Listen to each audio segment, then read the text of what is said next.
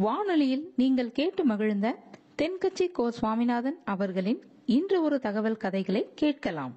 அவருடைய சீடர்கள் கொஞ்சம் பேர் ஒரு பாதை வழியா நடந்து போயிட்டு இருக்கிறாங்க. வழியில ஒரு ஆறு. அதை கடக்க வேண்டியிருந்தது. ரொம்ப ஆழம் கிடையாது. அதனால எல்லாரும் இறங்கி நடக்க ஆரம்பிச்சாங்க. அப்போ அந்த குரு சொன்னாராம் ஞானம் பெற்றவன் ஆற்றை கடக்கும் போது அவனுடைய கால்கள் ஒருபோதும் நனையாது. அப்படின்னாராம். இத கேட்டது சீடர்களுக்கு ஒன்றும் புரியல. அவங்க எல்லாரும் குழம்பி போயிட்டாங்க ஞானம் பெற்றவர்கள் காலு தண்ணியில நனையாதுன்னு சொல்றாரே நம்ம குரு. ஆனா இவரு காலு இப்ப தண்ணீர்ல நனையுதே அப்படின்னா இவருக்கு இன்னும் ஞானம் கிடைக்கலன்னு அர்த்தமா? இப்படிலாம் இப்படி எல்லாம் யோசிக்க ஆரம்பிச்சிட்டாங்க. ஒரு சீடன் மெதுவா கேட்டுட்டான் சுவாமி ஞானியின் பாதங்கள் ஒருபோதும் நனையாது அப்படின்னு சொல்றீங்க. ஆனா உங்களுடைய பாதங்கள் நனைஞ்சிருக்குதே அப்படின்னா. முட்டாளே நனைஞ்சிருக்கிற பாதங்கள் என்னுடையது இல்லைன்னார் குரு. அவர் சொல்றது சரிதான். அதுல ஒன்றும் குழப்பம் இல்லை. அந்த தண்ணீர் அவரை தொடல. தொட முடியாது. குரு என்ன சொல்றாரு தெரியுமா? எதுவும் என்ன தொட முடியாது. ஏன்னா நான் இல்லை அப்படிங்கிறாரு. நானே இல்லைங்கிறப்போ எதுவும் என்ன தொட முடியாது. இந்த கால் என்னுடையதுங்கிற நினைப்பு இருந்தா தானே தண்ணீர் அதை தொடர்றது எனக்கு தெரியும். நீங்க வந்து ஒரு குருவோட தொடர்பு கொள்ளுகிற போது ஒன்னு ஞாபகத்துல வச்சுக்கணும். அவர் வந்து யாராகவும் இல்லாத ஒருத்தர். அதாவது நோபடி நீங்க தொடர்பு கொள்றது ஒரு ஸ்தூல பொருளோட அல்ல ஒரு தோற்றத்தோட மட்டுமே. இதெல்லாம் பெரியவங்க பேசுற பேச்சு. அந்த அளவுக்கு நான்கிற உணர்வே இல்லாம இந்த உலகத்துல நம்மால வாழ முடியுமா? அது நடைமுறை சாத்தியமா? பற்றில்லாமல் வாழணும்னு பல பேர் அறிவுரை சொல்றாங்க. நம்ம லெவல்ல நாம குறைஞ்சபட்சம் பேராசை இல்லாம வாழ கத்துக்கிட்டா போதும். ஒருத்தன் நிலத்தை உழுதுகிட்டு இருந்தான். ஏறுகால ஏதோ தட்டுப்பட்ட மாதிரி தெரிஞ்சது. என்னன்னு பார்த்தான். அழகான சிலை ஒண்ணு கிடைச்சது. நல்ல விலைக்கு இதை விற்க முடியும். அதை அப்படியே மறைச்சு வச்சிருந்து பொழுது சாஞ்ச உடனே யாருக்கும் தெரியாம வீட்டுக்கு கொண்டுட்டு வந்துட்டான். வீட்டுல இருந்த மனைவி மக்கள்லாம் ஆளாளுக்கு ஒரு கற்பனை செய்ய ஆரம்பிச்சிட்டாங்க. இந்த சிலையை வித்து கிடைக்கிற பணத்துல பெருசா வீடு ஒண்ணு கட்டணும் அப்படிங்கிற நினைப்பு மனைவிக்கு. கழுத்து நிறைய நகை பண்ணி போட்டுக்கணுங்கிற கற்பனை மகளுக்கு. ஒரு நல்ல கார் வாங்கி அதுல உட்காந்து ஊர் சுத்தணுங்கிற ஆசை மகனுக்கு. இப்படி வீட்டுல இருந்த ஒவ்வொருத்தரும் ஒவ்வொரு விதமான கற்பனை சந்தோஷத்துல மிதந்துகிட்டு இருக்கிறாங்க.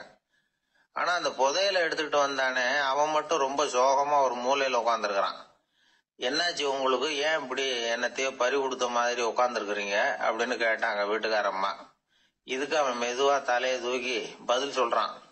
அந்த நாள்ல காணாம போனது பதினெட்டு சிலைகள் அப்படின்னு என்னுடைய பாட்டனார் சொல்லுவார். இன்னும் பதினேழு சிலைகள் எங்க புதஞ்சு கிடக்குதோ தெரியலையே அப்படின்னு பெருமூச்சு விட்டான். எனக்கு தெரிஞ்ச ஒருத்தர் இருக்கார். அவரு ஒரு பெரிய காவல்துறை அதிகாரி. ரொம்ப கண்டிப்பானவர். அவரை கண்டாவே எல்லாரும் பயப்படுவாங்க. அப்படிப்பட்டவர் வீட்டுக்கு போனா அப்படியே அடியோட மாறிடுவார். அங்க போய் பாத்தீங்கன்னா குழந்தைகளோட குழந்தையா அவர் விளையாடிக்கிட்டு இருப்பார்.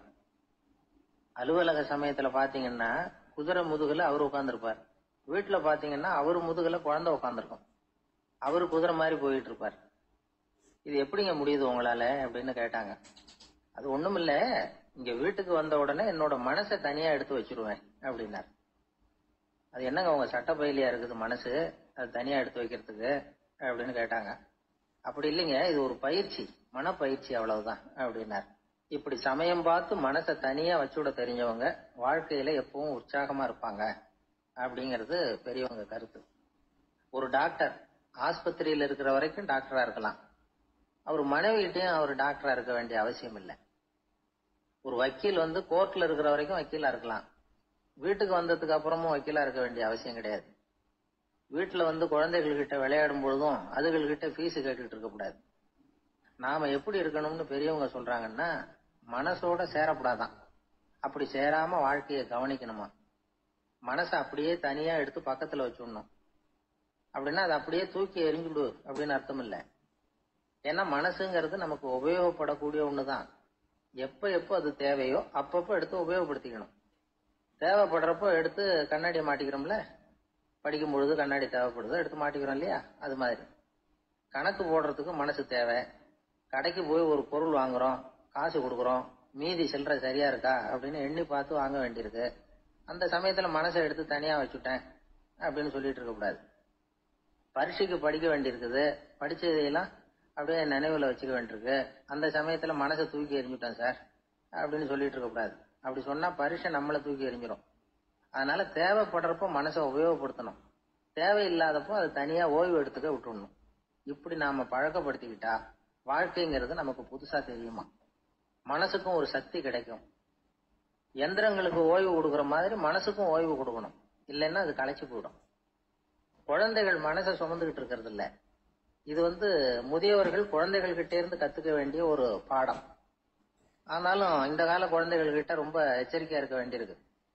ஒரு தாத்தாவும் பேரனும் விளையாடிக்கிட்டு இருக்கிறாங்க. தாத்தா எனக்கு சைக்கிள் ஓட்ட கத்து கொடு அப்படிங்கிறான் பேரன். சைக்கிள் உயரம் கூட இல்லை அதுக்குள்ள சைக்கிள் ஓட்டணுமா? அப்படின்னாரு தாத்தா. ஏன் தாத்தா? ரயில் ஓட்டுறாரே. அவர் என்ன ரயில் நீளமா இருக்கார்? அப்படின்னு கேட்டானா அந்த பையன். ஒரு ஆள் இருந்தார்.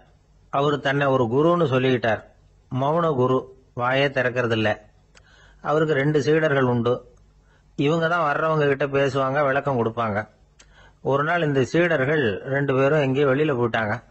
அந்த நேரம் பார்த்து ஒருத்தர் அங்க வந்தார். குரு கிட்ட போனார். குருவே புத்தர்னா என்னன்னு கேட்டார். குருவுக்கு ஒன்றும் புரியல.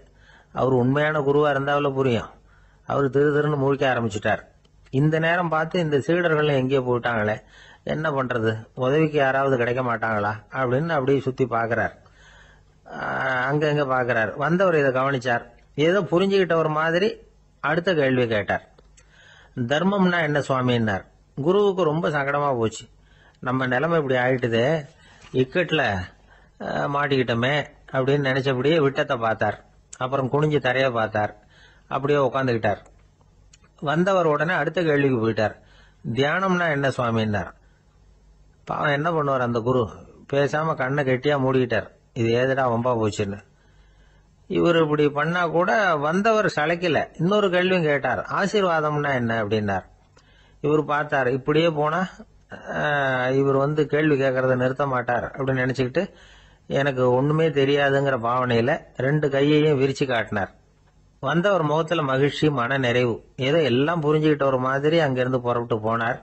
வழியில அந்த குருவோட சீடர்கள் ரெண்டு பேரையும் சந்திச்சார். உங்க குருவை தான் பார்த்துட்டு வரேன்னாரு இவர்.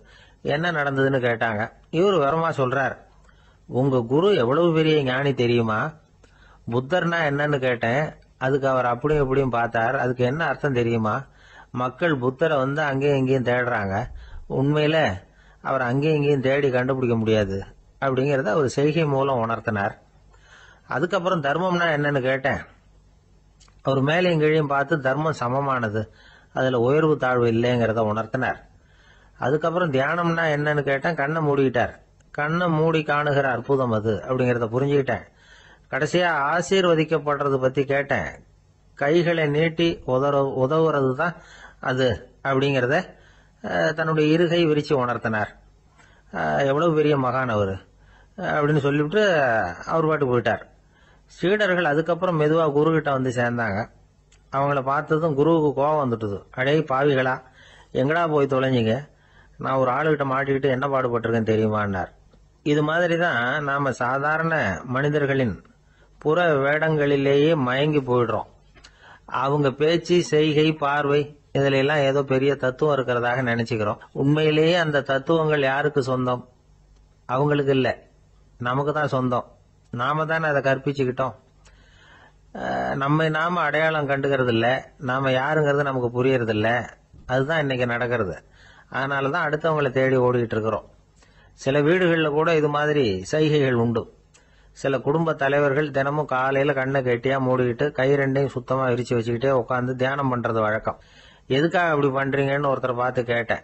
இந்த மாசம் வாங்கின சம்பளம் பூரா தீர்ந்து போச்சு.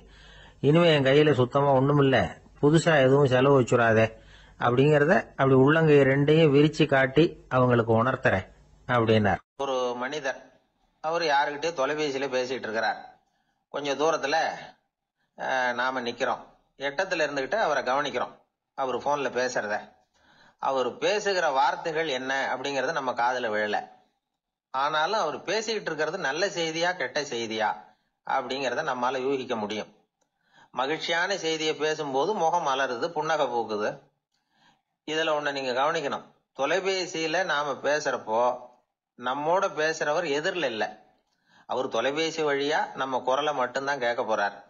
நம்ம முகத்தை அவர் பார்க்க போகிறதில்ல அப்படி இருந்தும் அப்ப நம்ம முகம் ஏன் மலரணும்? அப்படின்னா இதுதான் உடல் மொழி பாடி லாங்குவேஜ் அப்படின்னு சொல்றாங்க. நம்ம அறியாமலேயே நம்ம உடம்பு செய்திகளை தெரிவிக்குது பாருங்க அதுதான் உடல் மொழி.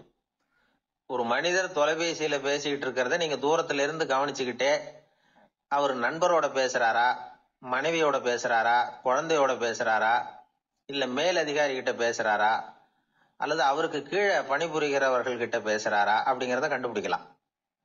அதுக்கு காரணம் அவருடைய உடல் மொழி. இந்த உடல் மொழி கூட நம்ம வாழ்க்கையின் முன்னேற்றத்துக்கு பயன்படும். இதை பத்தி கூட சில நிபுணர்கள் ஆராய்ச்சி பண்ணி பார்த்துருக்குறாங்க. அவங்க சில விவரங்களை சொல்றாங்க. குறிப்பா ஒருத்தர் தன்னுடைய நாற்காலியில கிட்டத்தட்ட படுத்துக்காத குறையா உட்காந்துருக்கிறாருன்னு வச்சுக்கோங்க. எதிர இருக்கிறவர் பேசுறது அவருக்கு பிடிக்கலன்னு அர்த்தமா? தலையை சொரிஞ்சுக்கிறது வேற வேற திசைகள்ல பாக்குறது கொட்டாவி விடுறது கால்களை மாத்தி போட்டு உட்கார்றது களைப்பா கை விரல்களை அப்படியே பின்னிக்கிறது அடிக்கடி கடிகாரத்தை பாக்குறது இப்படிலாம் ஒருத்தர் பண்ணிட்டு இருக்கிறாருன்னா நாம கூடிய சீக்கிரம் அந்த இடத்த விட்டு எழுந்திரிச்சு வந்துடுறது நல்லது. ஏன்னா இதெல்லாம் அவருடைய சலிப்பு சோர்வு ஆர்வமின்மை. இதுக்கு அடையாளங்கள். நம்முடைய பேச்சு அவரை சலிப்படைய வச்சுட்டதுன்னு அர்த்தம். அவர் ரொம்பவும் சோர்ந்து போயிட்டாருன்னு பொருள். நம்முடைய பேச்சில் அவருக்கு ஆர்வம் இல்லைன்னு அர்த்தம். அதே நேரத்தில் நாற்காலியின் நுனியில் அமர்ந்து உடலை முன்னுக்கு நகர்த்தி எதிர இருக்கிறவரின் கண்களை பார்த்துக்கிட்டே பேசினாலும் சரி அல்லது பேச்சை கேட்டாலும் சரி உங்க பேர்ல மற்றவங்களுக்கு உள்ள பிடிப்பு அதிகரிக்கும். நாம எப்படிப்பட்டவருங்கிறத நம்ம உடம்பும் நடை உடை பாவனையும் அடுத்தவங்களுக்கு காட்டி கொடுத்துரும். உங்க உடம்பு உங்க பார்வை நடை உட்கார்ற விதம். இதை வச்சுக்கிட்டே நீங்க வந்து பொறுப்புள்ளவரா முரடரா அலட்சியமானவரா மரியாதை தெரிஞ்சவரா அடக்கமானவரா நம்பிக்கைக்கு உரியவரா நாணயம் இல்லாதவரா பயந்தவரா திறமசாலியா அப்பாவியா அப்படிங்கறதெல்லாம் கண்டுபிடிச்சிடலாம். அதனால இந்த உடல் மொழியை புரிஞ்சுக்கிட்டு நம்மளை கொஞ்சம் சரிப்படுத்திக்கிட்டோம்னா வாழ்க்கையில சுலபமா பல காரியங்களை சாதிக்க முடியும். ஒரு மனநல மருத்துவமனை. அங்க ஒருத்தர் ஒரு நாற்காலியில உட்காந்துக்கிட்டு கார் ஓட்டுறது மாதிரி அப்படி பாவனை பண்ணிட்டு இருந்தார். ஸ்டியரிங்கை திருப்புறது மாதிரி பின்னாடி வர்ற வண்டியை நிக்க சொல்றது மாதிரி அப்புறம் இவர் ஒதுங்கிக்கிட்டு அவருக்கு வழி விடுறது மாதிரி இப்படிலாம் சேட்டைகள் பண்ணிட்டு இருந்தார் மனநல மருத்துவமனையில. இத பார்த்துக்கிட்டு இருந்த ஒருத்தர் பக்கத்துல இருந்த இன்னொருத்தர்கிட்ட கேட்டார். இவர் ஏன் இப்படி பண்றாரு? இவருக்கு ஏன் அப்படி வந்தது நிலைமை? அப்படின்னு சொல்லி அவர் விசாரிச்சார். அப்ப அவர் விவரம் சொன்னார். வேற ஒண்ணும் இல்லைங்க. இவருக்கு வந்து கார் ஓட்டணும்னு ஆசை. ரொம்ப காலமா. அது நிறைவேறாம போயிட்டுது. அதுக்கப்புறம் அவர் மனநோயாளியை மாறிட்டார். இங்க அழைச்சிட்டு வந்தாங்க. இங்க அழைச்சிட்டு வந்ததுல இருந்து அப்படிதான் பண்ணிட்டு இருக்கிறார். அப்போ கார் ஓட்டுறது மாதிரிலாம் பாவனை பண்ணிட்டு இருப்பார். திருப்புறது மாதிரி பண்ணுவார். பின்னாடி வர்றவங்களுக்கு இடம் விடுவார். இப்படிலாம் செய்கிறார் அப்படின்னு விவரம் சொன்னாங்க. நீங்கள் சொல்லப்படாதா? இப்போ நீங்கள் கார் ஓட்டல வெறும் நாற்காலியில தான் உட்காந்துருக்கிறீங்க அப்படின்னு நீங்கள் சொல்லப்படாதா அவருக்கு? அப்படின்னு கேட்டாங்க. அது முடியாதுங்க. ஏன்னா அந்த காரை கழுவுறதுக்காக அவர் தினமும் எனக்கு பத்து ரூபா கொடுத்துக்கிட்டு இருக்கிறார். அப்படின்னாராம் அங்கே வேலை செஞ்சுக்கிட்டு இருந்த ஒருத்தர். அதனால வாழ்க்கையில வந்து நாம வந்து இந்த உடல் மொழியை புரிஞ்சுக்கணும். உடல் மொழிங்கிறது இப்ப ஆரம்பத்துல சொன்னது மாதிரி அந்த தொலைபேசியில பேசுறவங்கள தூரத்துல இருந்து பார்த்தாவே அவர் யாருக்கிட்ட பேசுறாரு என்ன பேசுறாருன்னு தெரியும். நம்ம முகத்தை வந்து நல்லா வச்சுக்கணும். உடல் மொழிய நம்ம புரிஞ்சுக்கிட்டு பயன்படுத்த ஆரம்பிச்சோம்னா எந்த முயற்சி பண்ணினாலும் அதுல வெற்றி நிச்சயம் ஒரு பெரிய அரசன் இந்த உலகம் பூராவையும் ஆண்டுகிட்டு இருந்தான்.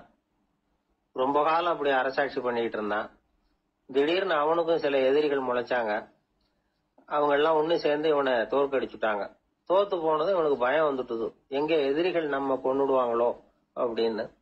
வெளியில வந்தா தனக்கு ஆபத்துன்னு பயந்துகிட்டு யாருக்கும் தெரியாம ஒரு குகைக்குள்ள போய் பதுங்கி கிடக்குறான். நிலைமைய பாருங்க. முதல் நாள் வந்து அரண்மனையில அதிகாரம் பண்ணிக்கிட்டு இருந்தவன். மறுநாள் வந்து குகையில பயந்து போய் பதுங்கி கிடக்குறான். ராத்திரி நேரம் வந்தது. பசி வயத்தை கிள்ளுது. பிச்சை எடுத்து சாப்பிட வேண்டிய நிலைமை. பிச்சை எடுக்கிறதுக்கு பாத்திரம் வேணுமே? என்ன பண்றது? அப்படின்னு அங்கேயும் இங்கேயும் பாக்குறான் ஒரு மூலையில யாரோ விட்டுட்டு போன ஒரு ஓடு கிடக்குது. அதை எடுத்துக்கிட்டு புறப்பட்டான். இருட்டுல வழி புரியல. ஏதோ ஒரு யூகத்துல காலை மெதுவா எடுத்து வச்சு நடந்து போயிட்டு இருக்கிறான். வழியில ஒரு கருப்பு நாய் படுத்து கிடந்தது. இருட்டுல அவன் இது கண்ணுக்கு சரியா தெரியல அவனுக்கு. தவறி போய் காலை வச்சுட்டான். அது மேல. நாய் சும்மா இருக்குமா? வள்ளுன்னு உழுந்து கடிச்சு விட்டுது. காலை பாக்குறான் காலத்தையும் நினைச்சு பாக்குறான் அரண்மனையில வந்து வீர கழல் அணிந்த காலை உடைய மன்னா அப்படின்னு புகழ்வாங்களே புலவர்கள்லாம். ஆனா அது இன்னைக்கு நாய் கடிச்ச காலம் ஆயிட்டுதே அப்படின்னு நினைக்கிறான். அது மட்டும் இல்ல முன்னாடி எல்லாம் பொற்கிண்ணங்கள்ல தான் அவன் சாப்பிடுவான். ஆனா இப்போ உடஞ்சி போன ஓட்டு அது ஓட்டை வந்து கையில வச்சுக்கிட்டு நிக்கிறான். அதுல ஏதாவது யாராவது சாப்பாடு போடுவாங்களான்னு. முன்னாடி எல்லாம் நிறைய பேர் அரண்மனைக்கு வருவாங்க. அரசருக்கு காணிக்கைன்னு சொல்லி இவன் காலடியில கொண்டாந்து கொட்டுவாங்க. அப்போல்லாம் இவன் அந்த ஜனங்களுடைய முகத்தை திரும்பி கூட பாக்குறது இல்ல. ரொம்ப கர்வமா உட்காந்துருப்பான் அதே ஆளு இன்னைக்கு எல்லார் கண்ணுலயும் படுறது மாதிரி பிச்சை எடுத்துக்கிட்டு இருக்கிறான். அப்போலாம் காணிக்கைகளை வந்து தன்னுடைய கையால வாங்குறது தனக்கு கௌரவ குறைச்சல்னு நினைச்சு தன்னுடைய வேலைக்காரங்களை விட்டு தான் அதை வாங்க சொல்லுவான். இப்போ பாத்தீங்கன்னா அவனே தன் கையாலேயே பிச்சை வாங்குறான். நினைச்சு பாருங்க. அந்த மனுஷன் முத நாள் அரசன் மறுநாள் பிச்சைக்காரன். எவ்வளவு வித்தியாசம்? செல்வம் தான் இப்படி ஒரு வித்தியாசம் ஏற்படுறதுக்கு காரணம். அப்படிப்பட்ட செல்வம் வாழ்க்கையை நடத்துறதுக்கு நமக்கு தேவைதான். ஆனா அதையே நாம் அடைய வேண்டிய பயனா நினைக்கிறோம் பாருங்க அதுதான் வேடிக்கை. இத வந்து நம்மாழ்வார் அழகா ஒரு பாசுரத்துல சொல்றார். ஒரு நாயகமாய் ஓட உலகுடன் ஆண்டவர் கருணாய் கவர்ந்த காலர் சிதைகிய பாணையர் பெருநாடு காண இம்மையிலே பிச்சைதாம் கொள்வர் திருநாரணன் தாழ் காலம் பெற சிந்தித்து உய்மினோ அப்படிங்கிறார் நம்மாழ்வார். ஒரு பெரிய பணக்காரர் ஒரு துறைவீட்ட போய் சாமி என்கிட்ட நிறைய பணம் இருக்கு இருந்தாலும் நிம்மதி இல்ல. என்னால நிம்மதியா இருக்க முடியல. என்ன காரணம்னு கேட்டாராம். உடனே அந்த துறவி இதுக்கு நேரடியா பதில் சொல்லாம பக்கத்துல நின்றுகிட்டு இருந்த ஒரு குழந்தைய கூப்பிட்டார். அது ஓடியாந்தது. ஒரு ஆப்பிள் பழத்தை எடுத்து அது கையில கொடுத்தார். அதை வாங்கிக்கிட்டு குழந்தை சிரிச்சுது. இன்னொரு பழத்தை எடுத்து கொடுத்தார். அதை இன்னொரு கையில வாங்கிட்டு சிரிச்சது. மூணாவது ஆப்பிள் எடுத்து கொடுத்தார். ரெண்டு பழத்தையும் நெஞ்சில் அணைச்சிக்கிட்டு மூணாவது பழத்தையும் வாங்குறதுக்கு முயற்சி பண்ணுச்சு. ஆனா அது உடனே நழுவி கீழே விழுந்து உருண்டு ஓடிச்சு. ஏற்கனவே இருந்ததும் விழுந்துட்டுது இப்ப அந்த குழந்தை அழ ஆரம்பிச்சுட்டுது. இப்ப அந்த துறவி பணக்காரர்கிட்ட சொன்னாராம் குழந்தைய கவனிச்சியா? ரெண்டு ஆப்பிள் போதும்னு அது நினைச்சிருந்தா இப்போ அது அழ வேண்டிய அவசியம் வந்திருக்குமா? அப்படின்னாராம். எதுவுமே அளவுக்கு மிஞ்சினா துன்பம் தான் இந்த காலத்துல இதெல்லாம் யாரு காதல வாங்குறாங்க? ஒருத்தனை நல்ல வழிக்கு கொண்டு வரணும்னு நினைச்சு அவனை கூப்பிட்டு உட்கார வச்சு இந்த கதையை சொல்லிட்டு இருந்தாங்க. சொல்லிவிட்டு அந்த குழந்தை செஞ்சது தப்பு தானே அப்படின்னு கேட்டிருக்கிறாங்க. ஆமா தப்பு தான் நானா இருந்தா அப்படி செஞ்சிருக்க மாட்டேன் நானா இவன். ரெண்டு பழமே போதும்னு சொல்லியிருப்பியா? அப்படின்னு கேட்டிருக்காங்க. அப்படி இல்லைங்க. அவர் கொடுக்க கொடுக்க ஒவ்வொரு பழமா வாங்கி பின்னாடி வச்சுட்டு மறுபடியும் கையை நீட்டுவேன் அப்படிங்கிறானா இவெல்லாம் எந்த காலத்துல திருந்துறது? ஒரு ஊர்ல ஒரு பெரியவர் இருந்தார். அவர் ஒரு குரு. அவர் தொடர்ந்து தியான கூட்டங்கள் நடத்துவார். அந்த கூட்டத்துல கலந்துக்கிறதுக்காக பல ஊர்கள்ல இருந்து சீடர்கள் நிறைய பேர் வருவாங்க போவாங்க. ஒரு நாள் அங்க கூட்டம் நடந்துகிட்டு இருக்குது. அந்த சமயத்துல சீடர்கள்ல ஒருத்தன் என்னத்தையே திருடி விட்டான் மற்ற சீடர்கள் அதை கவனிச்சுட்டாங்க. இவன் ஆப்பிட்டுக்கிட்டான் கூட்டம் முடிஞ்ச பிற்பாடு இவன் திருடின விஷயத்த அந்த பெரியவர்கிட்ட போய் சொன்னாங்களாம். அவர் கவனத்துக்கு கொண்டுகிட்டு போனாங்க. ஆனால் அவர் இதை காதுலயே போட்டுக்கல கண்டுக்கவே இல்லை. போய் சொன்ன சீடர்களுக்கெல்லாம் ஏமாத்தமாக போயிட்டுது. என்ன இது இவ்வளவு தூரம் நாம் கண்டுபிடிச்சி போய் சொல்கிறோம் அவர் கண்டுக்கவே மாட்டேங்கிறாரே அப்படின்னு ஒரு மாதிரி ஆயிட்டாங்க. இருந்தாலும் அதை பற்றி ஒன்றுமே சொல்லிக்கல பேசாமல் இருந்துட்டாங்க. கொஞ்ச நாள் ஆச்சு. அதே ஆள் மறுபடியும் ஒரு திருட்டில் மாட்டிக்கிட்டான். சீடர்கள் மறுபடியும் அந்த குரு கிட்ட விஷயத்த சொன்னாங்க. அவர் அப்பவும் வழக்கம் போல சும்மாவே இருந்துட்டார். இவர் இப்படி இருக்கிறத பார்த்ததும் அந்த சீடர்களுக்கு கோபம் வந்துட்டுது. உடனே அந்த சீடர்கள்லாம் ஒன்று கூடி பேசினாங்களாம். எல்லாருமா சேர்ந்து ஒரு விண்ணப்பம் தயார் பண்ணாங்க. அதை குருநாதர் கிட்ட கொண்டுட்டு போய் கொடுத்தாங்க. அந்த விண்ணப்பத்தில் இவங்க என்ன எழுதியிருக்கிறாங்க தெரியுமா? குருநாதர் அவர்களே உடனே திருடனவன் மீது சட்ட நடவடிக்கை எடுக்கணும் நீங்கள் அப்படி அவனை இங்கே சேர்க்கக்கூடாது நீங்கள் சேர்த்தீங்கன்னா நாங்கள் இங்கே இருக்கிறத பற்றி யோசிக்க ஆரம்பிச்சிருவோம். அவனை வந்து இந்த மடத்தை விட்டே துரத்தி பண்ணணும் நீங்க அவனை வெளியில அனுப்புங்க. இல்லைன்னா நாங்க அத்தனை பேரும் வெளியில போயிடுறோம். இப்படிதான் அந்த விண்ணப்பத்துல எழுதியிருக்கிறாங்க. குரு அந்த விண்ணப்பத்தை வாங்கி படிச்சு பார்த்தார். அதுக்கப்புறம் அதை எழுதின அத்தனை பேரையும் கூப்பிட்டாரு. எல்லாரும் இப்படி வாங்கன்னாரு வந்தாங்க. இப்படி என் எதிரில் உட்காருங்கன்னார். உட்காந்தாங்க அப்புறம் சொன்னார் இதை பாருப்பா நீங்க எல்லாரும் புத்திசாலிகள். உங்களுக்கு எது நல்லது எது கெட்டதுங்கிறது நல்லா தெரியும். நீங்க மேற்கொண்டு ஏதாவது படிக்கணும்னு நினைச்சா வேற எங்க வேணும்னாலும் போகலாம். அதுக்கு நான் தடை சொல்ல மாட்டேன். ஆனா உங்களால குற்றம் சாட்டப்பட்ட அவன் இருக்கானே அவன் எப்படின்னா அவனுக்கு எது நல்லது எது கெட்டதுங்கிறதெல்லாம் தெரியாது. அதனாலதான் திருடுறான். நீங்க சொல்றது மாதிரி அவனை அடிச்சு துரத்தி விடுறோம்னு வச்சுங்க அவனுக்கு எப்படி நல்லது கெட்டது தெரியும்? அவனுக்கு அதை யாரு சொல்லி கொடுக்கறது? அதனால இங்கேயே இருக்கட்டும் அதுதான் சரி.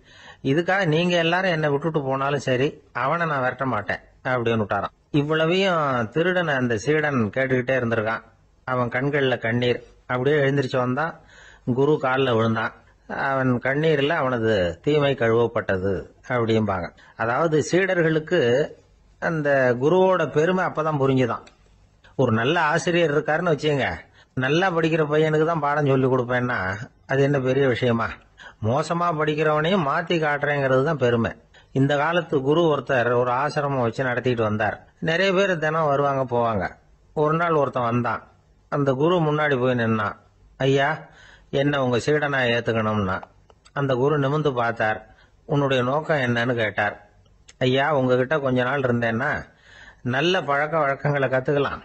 அதுக்கப்புறம் வெளியில போய் ஒரு நல்ல தொழில் தொடங்கி வாழ்க்கையில முன்னுக்கு வரணுங்கிறது தான் என்னோட நோக்கம் அப்படின்னா. நீ சொல்றது சரி. ஆனா உன்னால இங்க நல்ல பழக்க வழக்கங்களை கத்துக்க முடியலன்னு வச்சுக்கோ. அப்ப என்ன பண்ணுவேன் அப்படின்னு கேட்டார் அவர். அப்படி ஆச்சுன்னா என்ன? உங்களை மாதிரியே ஒரு ஆசிரமம் ஆரம்பிச்சு அதுக்கு குருவா இருந்துட்டு போறேன் அப்படின்னா.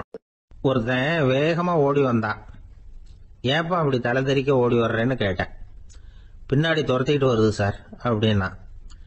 ஏதாவது நாய் துரத்திக்கிட்டு வருது போல இருக்கு அப்படின்னு நினைச்சு அவனுக்கு பின்னாடி பார்க்குறேன் கண்ணு கேட்டின தூரம் வரைக்கும் எதுவுமே தெரியல. ஏன்பா எதுவும் உன்னை துரத்துறது மாதிரி தெரியலையே என்ன? நல்லா பாருங்க சார் அப்படின்னா. பார்த்துட்டு தான் சொல்றேன் என்ன. இதோ பாருங்க சார் இதுதான் என்ன துரத்துது அப்படின்னு அவன் காட்டுறான். அவன் சுட்டி காட்டின இடத்துல பார்த்தா அங்கே அவனுடைய நிழல் தான் தெரியுது. என்னப்பா சொல்கிற அப்படின்னு சொல்லி அவனை சந்தேகமாக பார்த்தேன். அதுக்கப்புறம் தான் அவன் விவரமாக பேசினான். சார் எனக்கு என் நிழலை கண்டா பிடிக்கிறது இல்லை. எப்போ பார்த்தாலும் இது என்னையே பின்தொடர்ந்து வந்துகிட்டு இருக்குது. இதை என்னால் சகிக்கவே முடியல. இதை என்கிட்ட இருந்து பிரிக்கிறதுக்கு எவ்வளவோ முயற்சிகள்லாம் பண்ணி பார்த்துட்டேன். முடியலன்னா. அப்படி என்னென்ன முயற்சிகள் பண்ணினேன் அப்படின்னு கேட்டேன். அவன் என்னென்ன செஞ்சாங்கிறத விவரமாக சொன்னான். அவன் என்ன பண்ணியிருக்கிறான்? ஒரு பெரிய குழியை தோண்டி அதில் தன்னுடைய நிழலை புதைச்சிருவோம் அப்படின்னு முடிவு பண்ணிட்டு மண்வெட்டி எடுத்துக்கிட்டு தோட்டத்து பக்கம் போயிருக்கான். ஆழமாக ஒரு குழியை தோண்டியிருக்கான். குனிஞ்சு பார்க்குறான். அந்த குழிக்குள்ளே தன்னுடைய நிழல் தெரியுது. ஆஹா இதுதான் சமயம். நிழல் இப்போ குழிக்குள்ளே இருக்குது மண்ணை போட்டு மூடி விடலாம் அப்படின்னு நினச்சிக்கிட்டு கொஞ்சம் மண்ணை அள்ளி போட்டான். பார்த்தா இப்போ அந்த நிழல் அந்த மண்ணுக்கு மேலே வந்து நிற்கிது இது ஏதுடா வம்பா போச்சு. அப்படின்னு அவசர அவசரமாக மண்ணை வாரி போட்டு மூடி பார்க்குறான் குழி பூராவும் மூடி விட்டு பார்க்குறான் மறுபடியும் நிழல் மேலே வந்து உட்காந்துக்கிட்டு இருக்குது. சரி இதை வந்து குழியில் புதைக்க முடியாது அப்படின்னு முடிவு பண்ணிட்டு இதை இங்கேயே இப்படியே விட்டுட்டு ஒரே ஓட்டமாக ஓடி போடுவோம் அப்படின்னு நினச்சி எடுத்தான் ஓட்டம். அது காலை நேரம். இவன் மேற்க நோக்கி ஓடிக்கிட்டு இருக்கிறான். ஓடி ஓடி பார்க்குறான் நிழல் இவனை விட வேகமாக இவனுக்கு முன்னாடி ஓடிக்கிட்டு இருக்கு. சரி திரும்பி ஓடி பார்ப்போம் அப்படின்னு நினச்சிக்கிட்டு அப்படியே சடார்னு திரும்பி ஓட ஆரம்பித்தான் பார்த்தான் அப்பாடா நிழலை காணலை. கொஞ்ச தூரம் ஓடி ஒரு இடத்துல நின்று அப்படியே சாவகாசமாக திரும்பி பார்க்குறான். பின்னாடி நின்றுக்கிட்டு இருக்குது நிழல். இப்படி ஓடி வந்து தான் இங்கே நம்ம முன்னாடி நின்று தன்னுடைய அவஸ்தையை சொல்லிகிட்டு இருக்கிறான். இந்த நிழலை துரத்துறது அல்லது வெட்டி விடுறது இதுக்கு ஏதாவது வழி இருக்கா? சொல்லுங்கள் சார் அப்படிங்கிறான். நமக்கு ஒன்றும் புரியல. அந்த நேரம் பார்த்து ஒரு பெரியவர் வந்தார். அவர்கிட்ட யோசனை கேட்டோம். என்ன செய்யலாம்னு? அவர் சொன்னார் இந்த பாருப்பா நீ அங்கேயும் எங்கேயும் ஓடாத. அப்படியே கீழே படுத்துக்கொண்டார் அது நல்ல உச்சி வேலை. அவன் அப்படியே கீழே படுத்துக்கிட்டான். இப்போ அப்படி இப்படின்னு திரும்பி பார்க்குறான் நிழலை காணலை. அவன் இப்போ தான் நிம்மதியாக இருந்தான். இப்போ அந்த பெரியவர் சொன்னார் எல்லா மனிதர்களுமே இப்படி தான் ஓடிட்டு இருக்கிறாங்க. நான் எனது அப்படிங்கிற ஆணவம் தான் அவங்கள துரத்திக்கிட்டு இருக்கு அதை விட்டுட்டு ஓடணும்னு நினைச்சாலும் அது முன்னாடி வந்து நிற்கிது பரம்பொருளை நோக்கி ஓடுறப்போ இந்த ஆணவம் பின்னாடி வந்துடுது பரிபூர்ண சரணாகதிங்கிற நிலையில அது முழுசுமா மறைஞ்சுடுது தன்னை உணர்கிற வேலை அது. அந்த நேரம் மனிதனுக்கு விடுதலை உணர்வு ஏற்படுகிற நேரம் அது. அப்படிப்பட்ட சுதந்திர மனிதர்களாக எல்லாரும் மாறி போயிட்டாங்கன்னா இந்த உலகமே இன்பமயம் அப்படின்னு ஒரு விளக்கம் கொடுத்தார் பெரியவர். நம்மால் ஒருத்தன் வேகமா ஓடி வந்துகிட்டு இருந்தான். ஏன்டா அப்படி ஓடி வர்ற? அப்படின்னு கேட்டார். எதிரில் வந்தவர் ஆசை துரத்துது. அதுதான் ஓடி வர்றேன்னா. உனக்கு என்ன ஆசைன்னு? கேட்டார். எனக்கு ஒன்றும் ஆசை இல்லைங்க. என்னை எப்படியாவது பிடிச்சுடணும்னு போலீஸ்காரங்களுக்கு ஆசை. அந்த ஆசை இப்போ என்னை துரத்தி பின்னாடி வந்துகிட்டு இருக்குது. அதுதான் தப்பிச்சு வந்துகிட்டு இருக்கிறேன். குறுக்க நிற்காதீங்க சார் வழியை விடுங்க அப்படின்னு சொல்லிவிட்டு வேகமாக ஓடி மறைஞ்சான். அசோக மன்னர் வந்துகிட்டு இருக்கார். அவருடைய ஆலோசகர்கள் எல்லாம் பக்கத்தில் வந்துகிட்டு இருக்கிறாங்க. அந்த சமயத்துல எதிரில் ஒரு புத்த பிக்ஷு வர்றார். அசோகர் பார்க்கிறார் ஓடி போய் அவர் காலில் விழுந்து வணங்குறார். அசோக மன்னரின் தலை அந்த புத்த துறவியின் பாதத்துல பட்டுக்கிட்டு இருக்கு. பக்கத்துல நின்றுகிட்டு இருந்த அமைச்சருக்கு இது ரொம்ப சங்கடமா போச்சு. ரொம்ப வருத்தப்பட்டார். நம்ம அசோக சக்கரவர்த்தி எப்பேற்பட்டவர் அவரோட தலை ஒரு சன்னியாசியின் பாதத்துல படுறதா அப்படின்னு நினைச்சு ரொம்ப கவலைப்பட்டார். அரண்மனைக்கு திரும்பினதும் அமைச்சர் மெதுவா ஆரம்பிச்சார் அரசே எனக்கு ரொம்ப வருத்தமா இருக்குது அப்படின்னார். எதுக்குன்னார் மன்னர். அசோக சக்கரவர்த்தியின் தலை அதாவது அந்த சிரம் ரொம்ப மதிப்புமிக்க ஒன்று. அது வந்து ஒரு சன்னியாசியின் காலில் படலாமா? அப்படின்னார். அசோகர் பதில் சொல்லல சிரிச்சார் போயிட்டார். அதுக்கப்புறம் ஒரு சரியான சந்தர்ப்பத்துக்காக காத்துக்கிட்டு இருந்தார். ஒரு நாள் அமைச்சரை கூப்பிட்டார். எனக்கு மூன்று தலைகள் வேணும் அப்படின்னார். சொல்லுங்க கொண்டுகிட்டு வரேன் அப்படின்னார் அமைச்சர். அசோகர் சொன்னார் முதல்ல எனக்கு தேவையானது ஒரு ஆட்டின் தலை ரெண்டாவது ஒரு புலியின் தலை மூன்றாவது ஒரு மனிதனின் தலை. இதுதான் அசோகர் கேட்டது. எங்க இருந்தாலும் கொண்டு வாங்கன்னார். அமைச்சர் புறப்பட்டார். ஆட்டுத்தலை புலித்தலை கிடைச்சிட்டுது. அப்புறமா ஒரு சுடுகாட்டுக்கு போய் ஒரு மனித தலையும் சேகரம் பண்ணிட்டு ராஜா கிட்ட வந்துட்டார். அரசே உங்கள் ஆணைப்படி மூன்று தலைகளையும் கொண்டு வந்திருக்கிறேன்னார். அசோகர் பார்த்தார் ரொம்ப நல்லது. இப்ப இது மூன்றையும் எடுத்துக்கிட்டு போய் சந்தையில வித்துட்டு வாங்க அப்படின்னார். அமைச்சர் அதுகளை எடுத்துக்கிட்டு சந்தைக்கு போனார். முதல்ல ஆட்டுத்தலை நல்ல விலைக்கு வித்து போச்சு. அது நல்ல விலை கொடுத்து வாங்கிட்டு போட்டாங்க அடுத்தபடியா புலி தலைய ஒருத்தர் வாங்கிட்டார். அதை பாடம் பண்ணி வீட்டுல மாட்டி வைக்கலாமே அப்படின்னு நினைச்சு அதையும் வாங்கிட்டு போட்டார் மனித தலையை மட்டும் ஆகிறதுக்கு யாரும் முன் வரல. எல்லாரும் அதை பார்த்ததும் பார்த்துட்டு விலைக்கு போக ஆரம்பிச்சாங்க. அமைச்சர் திரும்பி வந்தார். அரசே இந்த தலையை மட்டும் யாரும் வாங்க மாட்டேங்கிறாங்க அப்படின்னார். சரி பரவாயில்ல. இதை வந்து இலவசமாவே இனாமாவே யாருக்கிட்டயாவது கொடுத்துட்டு வந்துருங்க அப்படின்னார். அமைச்சர் மறுபடியும் சந்தைக்கு போனார். இதை இலவசமா தரேன். இதை வாங்கிக்கோங்க அப்படின்னார். அப்பவும் அதை யாரும் வாங்கிக்கிறதுக்கு தயாரா இல்லை. மறுபடியும் திரும்பி வந்து மன்னர்கிட்ட விவரத்தை சொன்னார். இப்போ மன்னர் சொல்றார் அமைச்சரே உயிர் இருக்கிற வரைக்கும் தான் இந்த தலைக்கு மதிப்பு. ஜீவன் போனதுக்கு அப்புறம் அதோட மதிப்பும் போயிடுது. அதனால மதிப்பு இருக்கும் பொழுதே பெரியவர்கள் பாதம் பணிந்து அந்த புனிதத்தை வந்து பெற்றுக்கொள்ளணும் அப்படின்னார். பணிவுங்கிறது வேற அடிமைத்தனம்ங்கிறது வேற. பெரியவர்களை பணிவது நமக்கு பெருமை தரக்கூடிய விஷயம். இதை வந்து மனசுல வச்சுக்கிட்டு எப்போ காலில் விழணும் எப்போ காலில் விழக்கூடாது அப்படிங்கிறத முடிவு பண்ணிக்கணும். ஒரு சாதாரண ஆள் நடந்து வந்துகிட்டு இருந்தார். எதிரில் வந்த ஒரு பெரிய மனுஷன் ஓடி போய் அவர் காலில் விழுந்து தன்னுடைய தலையை அவர் பாதத்தில் கொண்டு போய் வச்சார். கொஞ்ச நேரம் கழிச்சு எழுந்திரிச்சு வந்துட்டார். வந்த பிறகு இவரை கேட்டேன் ஏன் திடீர்னு ஓடி போய் அந்த ஆளு காலில் விழுந்தீங்க? ஆஹ் அப்படின்னு அவர் போட்டிருக்கிறது என்னோட காணாம போன செருப்பான்னு கண்டுபிடிக்கிறதுக்காக அப்படி விழுந்தேன். அப்படின்னு. ஒரு ஊர்ல ஒருத்தர் இருந்தார். ரொம்ப நல்லவர். யாருக்காவது ஏதாவது கொடுத்துக்கிட்டே இருப்பார். கொடையாளி. தினமும் யாராவது ஒருத்தருக்கு ஏதாவது கொடுக்கலன்னா அவருக்கு தூக்கம் வராது. அப்படி ஒரு பழக்கம். அது மட்டும் இல்ல அவர் கொடுக்கறது அடுத்தவங்களுக்கு தெரியாது. அவ்வளவு ரகசியமா அதை கொடுப்பார். வலது கை கொடுக்கறது இடது கைக்கு தெரியக்கூடாதுன்னு சொல்லுவாங்கல்ல அது மாதிரி அவர். ஒரு நாள் ராத்திரி அவர் ஏற்கனவே தயாரா கட்டி வச்சிருந்த பணம் முடிச்ச கையில எடுத்துக்கிட்டு வீட்டை விட்டு வெளியில வந்தார். தெருவில் இறங்கி நடந்தார். இன்னைக்கு யாருக்கு தர்மம் செய்யறது அப்படின்னு யோசனை பண்ணிட்டு இருட்டில் நடந்து வந்துகிட்டு இருக்கிறார். யாரோ ஒருத்தர் எதிரில் வர்றது மாதிரி தெரிஞ்சுது. உடனே அவர் கிட்ட போனார். தன்கிட்ட இருந்த பணம் முடிச்சு அவசர அவசரமா அவர் கையில திணிச்சுட்டு திரும்பி வந்துட்டார். அப்பாடா ஒரு வழியா யாருக்கும் தெரியாம இன்னைக்கு தர்மம் பண்ணியாச்சு அப்படிங்கிற மகிழ்ச்சி மன நிறைவு அவர் முகத்துல. நிம்மதியா தூங்கினார் அப்புறம் எழுந்திரிச்சார். மறுநாள் காலையில ஊரு பூரா ஒரே பேச்சு. என்ன பேச்சுன்னா நேற்று ராத்திரி ஒரு திருடன் கையில யாரோ பணத்தை கொடுத்துட்டு போயிருக்கிறாங்க. அப்படின்னு எல்லாரும் பேசிக்கிட்டு இருக்கிறாங்க. இதை கேள்விப்பட்டதும் அந்த பெரியவருக்கு ரொம்ப வருத்தமா போச்சு. அடடா போயும் போயும் ஒரு திருடனுக்கா உதவி பண்ணிருக்கிறோம் பிரயோஜனம் இல்லாம போட்டுதே அப்படின்னு நினைச்சார். சரி இன்னைக்கும் யாருக்காவது உதவி பண்ணணும் அப்படின்னு முடிவு பண்ணினார். ராத்திரி நேரம் வந்தது. இவர் வழக்கம் போல தெருவில் இறங்கி நடந்தார். கையில பணம் முடிச்சு எதிரில் ஒரு பெண் உருவம் மங்கலா தெரிஞ்சது. இவர் உடனே அந்த பெண் கிட்ட பணத்தை கொடுத்துட்டு திருப்தியா திரும்பி வந்துட்டார். மறுநாள் காலையில ஊர் பூரா என்ன பேசிக்கிட்டாங்க தெரியுமா? நேத்து ராத்திரி நெறி தவறி நடக்கிற ஒரு பெண்ணின் கையில யாரோ பணத்தை வச்சுட்டு போயிருக்கிறாங்க. அப்படின்னு எல்லாரும் பேசிக்கிறாங்க. அடடா இன்னைக்கும் தவறுதலா நடந்து போச்சு அப்படின்னு ஒரு வருத்தப்பட்டார். இருக்கட்டும். இன்னைக்கு ஏதாவது தர்மம் பண்ணுவோம் அப்படின்னு நினைச்சுக்கிட்டாரு. மூணாவது நாள் ராத்திரியும் புறப்பட்டார். இப்பவும் எதிரில் ஒருத்தர் வந்தார். இவர் பணத்தை கொடுத்தார் திரும்பி வந்துட்டார்.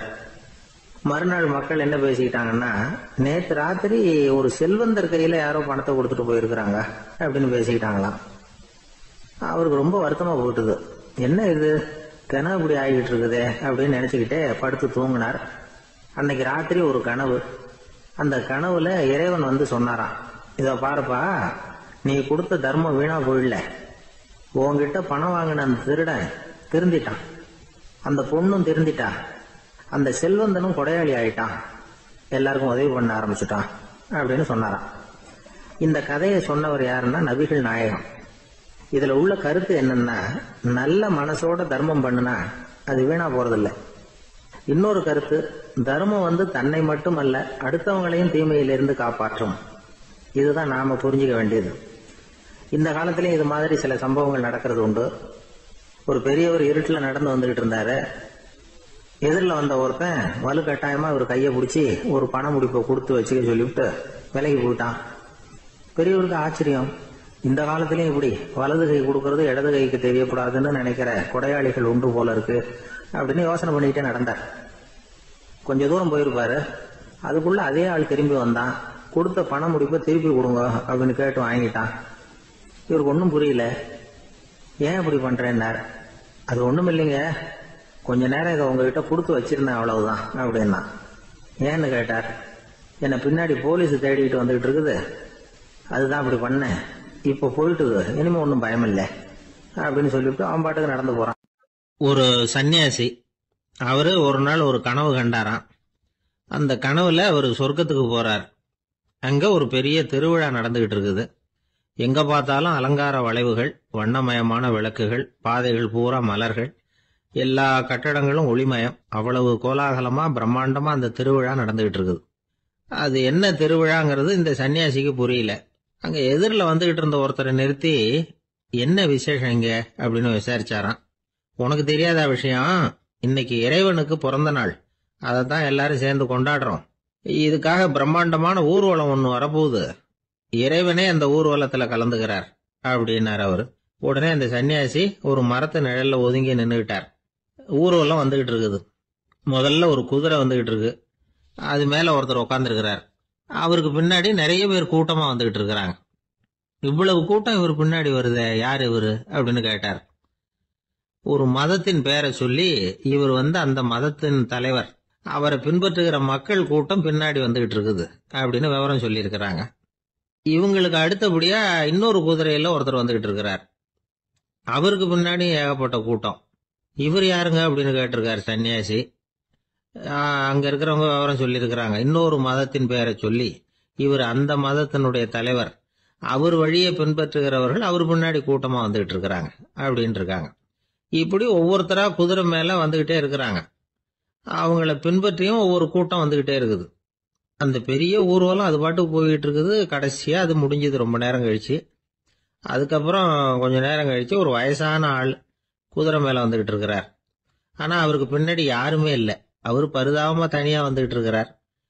அவர் அந்த ஊர்வலத்தை சேர்ந்தவரா இல்லையாங்கிறதே தெரியல. இவர் யாரு? இவர் ஏன் இப்படி தனியா வந்துகிட்டு இருக்கிறார் அப்படின்னு கேட்டிருக்கார் அந்த சன்னியாசி. என்னது இப்படி கேக்குறீங்க? இவர் தான் கடவுள். இவருக்காக தான் இன்னைக்கு இந்த ஊர்வலமே நடக்குது. இவருக்கு தான் இன்னைக்கு பிறந்த நாள். முன்னாடி போற ஊர்வலம் பூரா இவருடைய பிறந்த நாளை கொண்டாடுறதுக்காக தான் அப்படின்னு இருக்காங்க இதை கேட்டதும் அந்த சன்னியாசிக்கு திடுக்குன்னு தூக்கி போட்டிருக்கு. இது வரைக்கும் கனவு கண்டுகிட்டு இருந்தவர் முடிச்சுக்கிட்டார் அதுக்கப்புறம் தான் யோசிச்சு பார்த்துருக்கார். உண்மைதான். மக்கள் எல்லாரும் வந்து பக்தி மார்க்கத்தில் போறதா நினைச்சுக்கிட்டு பாதை மாறி போயிட்டு இருக்கிறாங்க. கடவுளை பின்பற்றுவதாக நினைக்கிறாங்க பக்தர்கள். ஆனா கடவுளுக்கு பின்னாடி யாருமே இல்லை. இன்னமும் இயல்பா இதை பத்தி யோசிச்சு பார்த்தா உண்மைக்கு பின்னாடி தான் நான் போய்கிட்டு இருக்கேன் அப்படின்னு நிறைய பேர் சொல்றாங்க. ஆனா அந்த உண்மை வந்து அனாதையா போய்கிட்டு இருக்குது. அப்படி ஆயிட்டுது உலகம். இந்த காலத்திலயும் ஒரு ஊர்வலம். ஒரு பெரிய மனுஷருக்கு பிறந்த நாள் விழா. அவர் குதிரை மேல ஏறி முன்னாடி போயிட்டு இருக்கிறார். அவருக்கு பின்னாடி ஒரு நூறு பேர் தொண்டர்கள். அவங்க பாட்டுக்கு போறாங்க. எல்லாம் பணம் கொடுத்து ஏற்பாடு பண்ணவங்க. எல்லாம் பணம் வாங்கிட்டு பின்னாடி போயிட்டு இருக்கிறாங்க. கொஞ்ச தூரம் நடந்ததும் கால் வலிக்க ஆரம்பிச்சுட்டுது. ஒவ்வொருத்தரும் அப்படியே ஒதுங்க ஆரம்பிச்சிட்டாங்க. அதான் முன்னாடியே பணம் கிடைச்சிட்டுதே. இனிமே ஒதுங்கினா என்னன்னு ஒதுங்கிட்டாங்க. ஒரு கட்டத்தில் குதிரையில் போறவர் தற்செயலாக திரும்பி பார்க்குறாரு பின்னாடி யாருமே இல்லை. எல்லாரும் ஓடி போயிட்டாங்க. ஒரே ஒரு ஆள் மட்டும் ரொம்ப விசுவாசமாக பின்னாடி நடந்து வந்துகிட்டு இருந்தான். ஏன்ப்பா நீ மட்டும் வந்துகிட்டு இருக்கிறியே நீ வீட்டுக்கு போகலையான்னு கேட்டிருக்காரு அவரு. நீங்கள் அந்த குதிரையையும் அதுக்குள்ள வாடகை பணத்தையும் கொடுத்துட்டீங்கன்னா நானும் போயிடுவேன் அப்படின்னு நானும் இந்த ஆள். ஒரு காட்டுல ஒரு நரி இருந்தது. ஒரு நாள் காலை நேரம். அது தன்னுடைய இருப்பிடத்துல இருந்து வெளியில வந்தது. கொஞ்ச தூரம் நடந்து வந்தது. அப்பதான் அது தன்னோட நிழலை கவனிச்சு பார்த்தது. பார்த்தா அது ரொம்ப நீளமா பெருசா இருக்குது. காலை நேரத்துல நிழல் அப்படித்தானே இருக்கும்? ஆனா அந்த நரிக்கு அந்த விஷயம் தெரியல. தன்னுடைய நீண்ட பெரிய நிழலை பார்த்து ஆச்சரியப்பட்டது. ஆஹா நாம இவ்வளவு பெருசாவா இருக்கிறோம் அப்படின்னா என்னுடைய காலை சாப்பாட்டுக்கு ஒரு யானை இல்லைன்னா ஒரு ஒட்டகம் கிடைச்சாதான் சரியா இருக்கும் போல இருக்கு அப்படின்னு முடிவு பண்ணிட்டுது உடனே ஒரு யானை அல்லது ஒட்டகத்தை தேடி அலைஞ்சது. எங்க கிடைக்கும்னு? கிடைக்கவே இல்லை. மத்தியானம் பன்னெண்டு மணி ஆயிட்டுது. பசியோட அலையுது. இப்ப தன்னோட நிழலை பார்த்தது அது. மத்தியான நிழல் எப்படி இருக்கும்? அது ரொம்பவும் குறுகி போய் தெரிஞ்சது. உடனே அந்த நரி என்ன நினைச்சுக்கிட்டு தான் தெரியுமா? காலை ஆகாரம் சாப்பிடாததுனால நம்ம உடம்பு இப்படி அழிச்சு போட்டுதே அப்படின்னு நினைச்சுக்கிட்டு தான் கொஞ்ச நேரம் கழிச்சு மறுபடியும் தன்னுடைய நிழலை பார்க்குது. அது இன்னமும் குறுகி போய் காலடியிலேயே வந்துட்டுது. அதுக்கு பயமா போயிடுது. ஐயையோ இன்னும் கொஞ்ச நேரத்துல நாம இறந்துருவோம் போல இருக்க. இப்ப என்ன செய்யறது? இந்த சமயத்துல ஒரு எறும்பு கிடைச்சா கூட போதும். அதை வந்து நம்ம காலை ஆகாரமா நினைச்சு சாப்பிட்டுள்ளாமே அப்படின்னு நினைச்சுதான். நம்முடைய நிழல் கூட நம்மள மாதிரியே தான் அடிக்கடி மாறிக்கிட்டே தான் இருக்குது. அது எப்பவும் ஒரே மாதிரி இருக்கிறது இல்ல மனிதனுக்கு ஏற்படுகிற தன்முனைப்பு இருக்கு பாருங்க ஈகோ. அது கூட ஒரு நிழல் மாதிரி தானா அப்படி நினைக்க ஆரம்பிச்சுட்டா அதனால ஏதும் பிரச்சனை வராதான் தன்முனைப்பை வந்து நிழல் போலவே ஏற்றுக்கொள்ளுங்கள் அப்படிங்கிறது பெரியவங்க கருத்து. ஒரு காரியத்தை வெற்றிகரமா நல்ல விதமா செஞ்சு முடிக்கிறோம்னு வச்சுக்கோங்க. அந்த சமயத்துல ஒரு வித நுட்பமான தற்பெருமை நமக்குள்ள உண்டாகுது. இது இயற்கையானது. அதனால இது மேல பற்று வைக்கக்கூடாது. அப்படி வைக்க ஆரம்பிச்சுட்டா அந்த தற்பெருமை ஒரு நிரந்தர விருந்தாளியா நம்ம கிட்ட தங்கிக்கும். நம்ம நிழல் எப்படின்னு பாருங்க.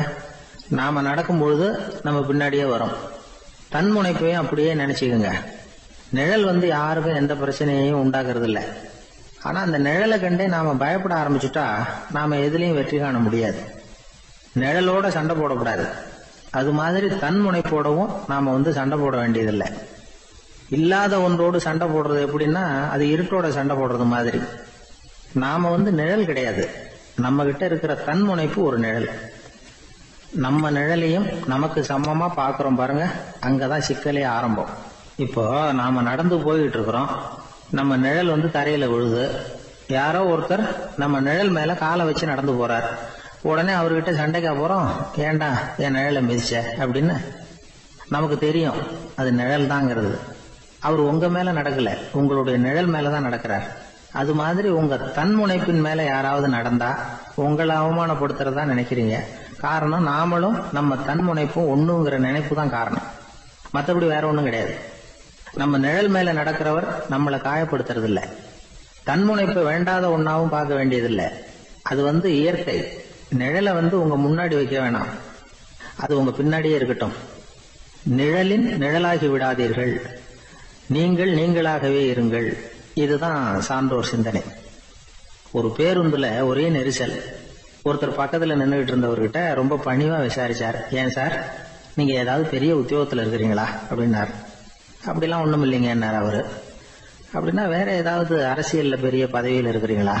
அப்படின்னு கேட்டார். அதுவும் இல்லைங்கன்னார் சரி பணமாவது அதிகமா வச்சிருக்கீங்களா? அப்படின்னு கேட்டார். அப்படிலாம் ஒன்றும் கிடையாது சார்னார் அவரு. அப்புறம் எதுக்குடா என் காலை மிதிச்சுக்கிட்டு இருக்கிற? எடுறா காலை அப்படின்னாராம். ஒரு ஊர்ல ஒரு ஆள் இருந்தான். அவன் ஒரு நாள் கோயிலுக்கு போனான். கடவுள்கிட்ட வேண்டிக்கிட்டான். எனக்கு ஒரு ஒரு லட்சம் ரூபா நீ கொடுத்தா நான் உன் சன்னதியில ஒரு தேங்காய் உடைக்கிறேன் அப்படின்னு வேண்டிக்கிட்டான். கடவுள் பார்த்தார். உடனே அவன் கண் முன்னாடி தோன்றினார். இந்தா நீ கேட்ட ஒரு லட்சம் ரூபாய் அப்படின்னு சொல்லி அவன் கையில பணத்தை கொடுத்துட்டு மறைஞ்சிட்டார். இவனால நம்பவே முடியல. இவ்வளவு சுலபமா கிடைக்கும்னு தெரிஞ்சிருந்தா அனாவசியமா ஒரு தேங்காய் உடைக்கிறேன்னு வேண்டி இருக்க வேண்டியது இல்லையே அப்படின்னு நினைச்சான். இருந்தாலும் வேண்டுதலை நிறைவேற்ற வேண்டியது கடமை. அதுக்காக என்ன பண்ணா பக்கத்தில் ஒரு கடைக்கு போனான். ஒரு தேங்காயை கையில் எடுத்தான். இது என்ன விலைன்னு கேட்டான். அஞ்சு ரூபான்னார் கடையில் இருந்தவர். அதிகமாக இருக்குதே விலைன்னா. அப்படின்னா ஒன்று செய்யுங்க. அடுத்த ஊருக்கு போங்க. அங்கே தென்னந்தோப்பு அதிகம். அதனால அங்கே இதை விட குறைஞ்ச விலைக்கு கிடைக்கும் அப்படின்னார். சரின்னு அடுத்த ஊருக்கு கிளம்புனான். அங்கே போய் விசாரிச்சான். ஒரு தேங்காய் மூன்று ரூபாய் விலைன்னாங்க. இதுவும் அதிகமாக தெரியுதேன்னா அப்படின்னா ஒன்று செய்ய.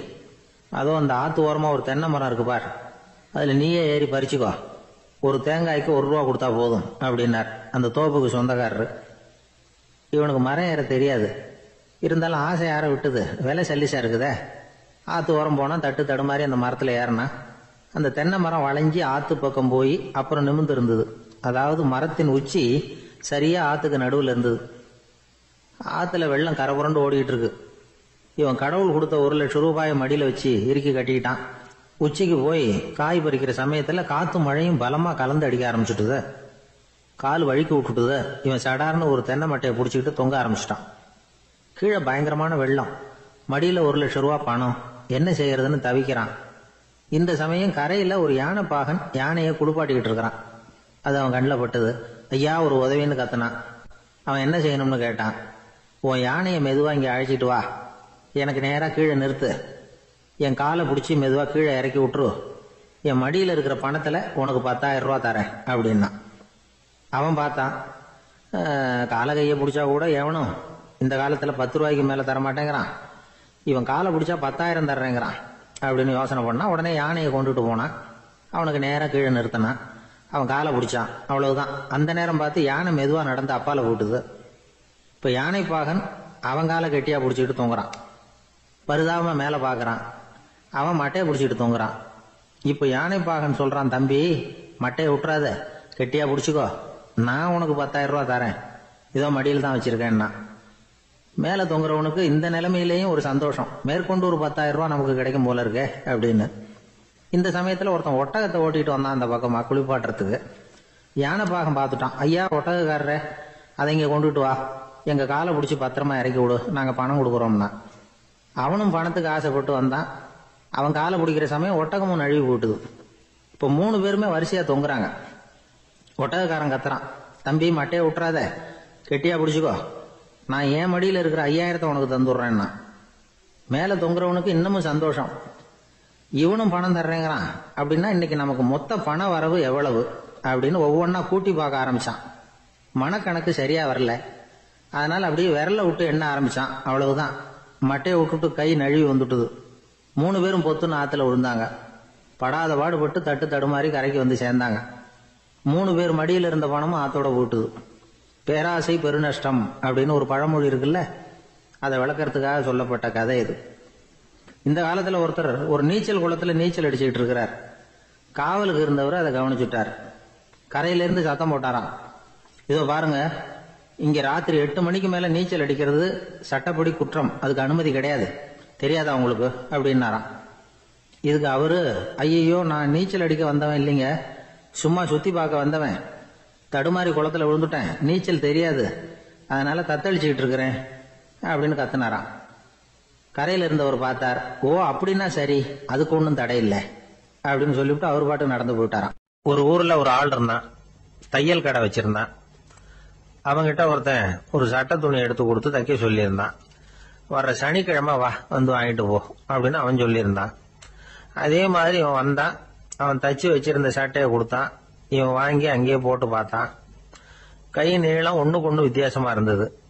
வலது கை இடது பக்கத்தை விட நீளம் குறைச்சலா இருந்தது. அவன் முணுமுணுக்க ஆரம்பிச்சுட்டான். என்ன இது? இப்படி தைச்சுட்டியேன்னு இதுக்கு அவன் சொன்னான் ஐயையோ இதுக்காகவா சங்கடப்படுறீங்க? வலது கையை மட்டும் கொஞ்சம் உள்ள இழுத்தாப்புல வச்சுக்கிட்டீங்கன்னா சரியா போகுது. மற்றபடி அந்த சட்டையில உள்ள கலை அம்சத்தை கவனிங்க. எவ்வளவு அற்புதமா தச்சிருக்கேன் பாருங்க. ஒரு சின்ன குறைய வந்து இப்படி எல்லாம் பொருட்படுத்த வேண்டியதில்லை. நான் சொன்னது மாதிரி கையை கொஞ்சம் உள்ள இழுத்தது மாதிரி வச்சுக்கிட்டு நடந்து போங்க ஜோரா இருக்கும் அப்படின்னா. அவனும் யோசிச்சு பார்த்தான். சரியான யோசனையா தான் தோணுச்சு. கொஞ்சம் முயற்சி பண்ணி வலது கையை கொஞ்சம் உள்ள இழுத்து சட்டை சரியா இருக்கிறது மாதிரி பண்ணிக்கிட்டான் இப்போ மறுபடியும் ஒரு பிரச்சனை. வலது கையை உள்ள இழுத்த மாதிரி அப்படியே வச்சுக்கிட்டதும் முதுகு பக்கம் கொஞ்சம் துணி தளர்த்தியா தொங்குறது மாதிரி தெரிஞ்சது. என்ன இது? முதுகு பக்கம் துணி குவிஞ்சுட்டுதே தொங்குதே. அப்படின்னா மறுபடியும். அடடா இதுக்காகவா கவலைப்படுறீங்க? உடம்ப அதுக்கு தகுந்த மாதிரி கொஞ்சம் வளைச்சிக்கிட்டா சரியா போடுது. இதுக்காக அந்த அழகான தையலை பிரிச்சு அதுல உள்ள கலை அம்சத்தை கெடுக்கிறதுக்கு என் மனசு இடம் தரல. எவ்வளவுக்கு தளர்த்தியா இருக்கோ அவ்வளவுக்கு கொஞ்சம் உடம்ப வளைச்சி அப்படி குனிஞ்சது மாதிரி போங்க போதும் அப்படின்னா. அதுவும் நல்ல யோசனையாக தான் பட்டுது இவனுக்கு சரின்னு சொல்லிவிட்டு புறப்பட்டான். தெருவில் இறங்கினான் கையை கொஞ்சம் உள்ளே இழுத்தான். உடம்ப கொஞ்சம் முன்னால் வளைச்சான். சட்டைக்கு தகுந்த மாதிரி உடம்ப பண்ணிக்கிட்டான் மெதுவாக நடந்து போகிறான் இப்போ எதிரில் இன்னொருத்தன் வரான். இவனை பார்க்குறான். இவன் போட்டிருக்கிற சட்டையை பார்க்குறான். ஆஹா அற்புதம்ங்கிறான். சும்மா சொல்லக்கூடாது ரொம்ப நல்லா இருக்குது. நிச்சயமாக இது வந்து இந்த ஊர் மேல தெருவில் இருக்கிற ஒருத்தன் இருக்கானே. அவன் தச்சதா தான் இருக்கணும் அப்படின்னா. இதை கேட்டதும் அவனுக்கு ஆச்சரியம். எப்படி அவ்வளவு கரெக்டா கண்டுபிடிச்சிங்க? அப்படின்னு கேட்டிருக்கான். இதுக்கு அந்த வழிபோகன் சொன்னானாம் அவன் ரொம்ப கெட்டிக்காரன். உங்களை மாதிரி உடம்பும் கையும் வளைஞ்சு போன ஒரு ஆசாமிக்கு அவனை தவிர வேற யாராலேயும் இவ்வளவு பொருத்தமான ஒரு சட்டையை தைக்க முடியாது அப்படின்னானா. பாருங்க அவனுக்காக இவன் அனுசரிக்க போய் இவனோட நிலைமை எப்படி ஆயிடுது பாருங்க. இதே மாதிரி தான் சில சடங்குகளும் சம்பிரதாயங்களும் நம்மளை வந்து கோமாளி ஆக்கி விட்டுரும். எதுவாக இருந்தாலும் அதில் வந்து அறிவுபூர்வமான அணுகுமுறை அவசியம். ஒரு நர்ஸ் அவசரமாக ஓடி வந்து டாக்டர் கிட்ட சொல்லிச்சான். டாக்டர் ஒரு தப்பு நடந்து போச்சு. பத்தாம் நம்பர் பெட்டில் இருக்கிற பேஷண்ட்டுக்கு காலில் ஆப்ரேஷன் பண்ணுறதுக்கு பதிலாக கையில் ஆப்ரேஷன் பண்ணி விட்டீங்க. கை ஆப்ரேஷன் பண்ணிக்க வேண்டிய ஆள் ஏழாம் நம்பர் பெட்டில் இருக்கார். அப்படின்னு தான் அதுக்கு ஒரு பதட்டப்படாம சொன்னாராம். பரவாயில்ல இவரை தூக்கி ஏழாம் நம்பர் பெட்ல போட்டுரு அப்படின்னு. ஒருத்தர் அவசரமா போய்கிட்டு இருந்தார். எங்க போய்கிட்டு இருக்கீங்க? அப்படின்னு கேட்டார் ஒரு பெரியவர். கடைக்கு போறேன் சார். சாமான் வாங்கறதுக்கு அப்படின்னார். அங்க போறதுக்கு முன்னாடி தெரிஞ்சுக்க வேண்டியதெல்லாம் தெரிஞ்சுக்கிட்டீங்களா? அப்படின்னு கேட்டார் பெரியவர். கடைக்கு போய் காசை கொடுத்து ஒரு பொருளை வாங்கிட்டு வரப்போறோம் இதுல தெரிஞ்சுக்க வேண்டியது என்ன இருக்குது? அப்படின்னார் அலட்சியமா. இப்ப அந்த பெரியவர் பேச ஆரம்பிச்சார். இந்த உலகத்துல எந்த ஒரு செயலில் இறங்குறப்பவும் நாம் நல்லா ஆலோசனை பண்ண வேண்டிய விஷயம் ஐந்து அப்படின்னார். உதாரணமாக ஒருத்தன் கடைக்கு போய் ஏதோ ஒரு பொருளை வாங்கிட்டு வர வச்சுக்கோங்களேன். அப்போ கூட அவன் வந்து ஐந்து விஷயங்களை பற்றி தெரிஞ்சுக்க வேண்டியிருக்குது அப்படிங்கிறார் அவர். முதல்ல அந்த பொருள் எப்படிப்பட்டது அப்படிங்கிறத தெரிஞ்சுக்கணும். ரெண்டாவதாக தன்னை பற்றியும் தெரிஞ்சுக்கணும். அப்பதான் அந்த பொருள் தனக்கு தேவையா இல்லையா அப்படிங்கிறத புரிஞ்சுக்க முடியும். மூணாவதாக தெரிஞ்சுக்க வேண்டியது ஒன்று இருக்கு. அது என்னன்னா அந்த பொருளை அடையறதுக்கு வழி என்ன அப்படிங்கிறத தெரிஞ்சுக்கணும். அதாவது எவ்வளவு பணம் கொடுத்தா அது கிடைக்கும்? இது மாதிரியான விஷயங்கள். நாலாவதா அந்த பொருளை அடையிறது மூலமாக நாம் அடையக்கூடிய பயன் என்ன அப்படிங்கிறதையும் உணரணும். அஞ்சாவது அந்த பொருளை அடையிறதுல இருக்கக்கூடிய தடை எது அப்படிங்கிறதையும் நாம் தெரிஞ்சுக்கணும். பெரியவர் பேசுறது ஏதோ தத்துவம் மாதிரி தெரியுது இல்லையா தத்துவம் தான் அதாவது இப்படி உலகியல் வாழ்க்கையில சின்ன சின்ன விஷயங்கள்லேயே நாம் ஐந்து விஷயங்களை தெரிஞ்சுக்க வேண்டியிருக்குது.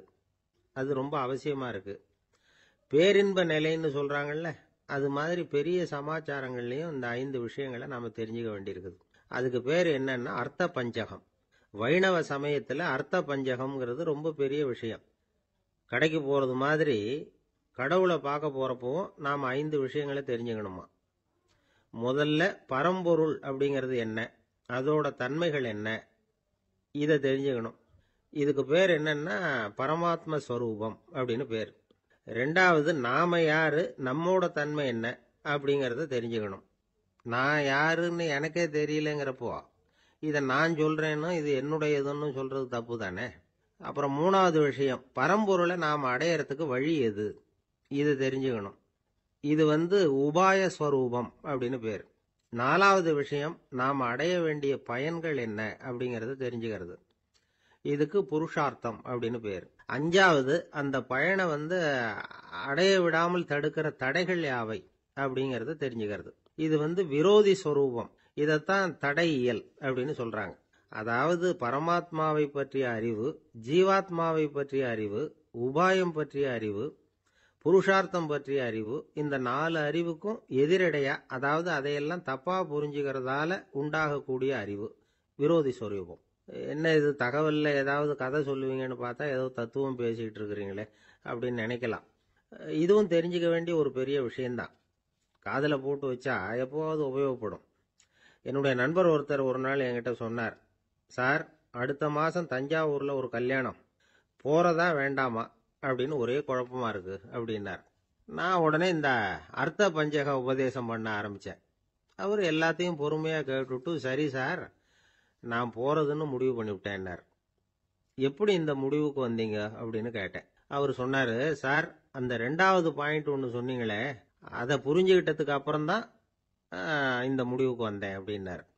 என்ன ரெண்டாவது பாயிண்ட்டுன்னு அதாவது தன்னை பற்றி புரிஞ்சுக்கணும் அப்படின்னு சொன்னீங்க. உடனே என்னை பற்றி புரிஞ்சுக்கிட்டேன். நான் யாருங்கிறது எனக்கு தெரிஞ்சுது. உடனே போகிறது தான் நல்லதுன்னு முடிவு பண்ணிவிட்டேன்னார் நீங்கள் யாருன்னு கேட்டேன். நான் தான் சார் அந்த கல்யாணத்தில் தாலி கட்ட வேண்டிய மாப்பிள்ளை அப்படின்னார். என்ன சார் உங்கள் பையன் என்ன செஞ்சுக்கிட்டு இருக்கிறான் இப்போ? அப்படின்னு கேட்டார் ஒருத்தர். அடிக்கடி கண்ணாடி முன்னாடி நின்று அழகு பார்த்துக்கிட்டு இருக்கிறான் சார் அப்படின்னாரு அப்பா. இளம் பருவம் இப்படி தான் இருக்கும். அதையெல்லாம் சாதாரணமாக நினச்சிடாதீங்க அப்படின்னாரு அவர். என்ன சார் சொல்கிறீங்க கண்ணாடி முன்னாடி நின்றுக்கிட்டு நேரத்தை வீணாக்கிக்கிட்டு இருக்கான். அதை ஒரு பெரிய விஷயமா நான் நினைக்கணுமா? அப்படின்னாரு இவர். இளம் பருவத்தில் இளைஞர்களுக்கும் சின்ன பொண்ணுங்களுக்கும் அடிக்கடி கண்ணாடியில் பார்க்கணும்னு தோணும்.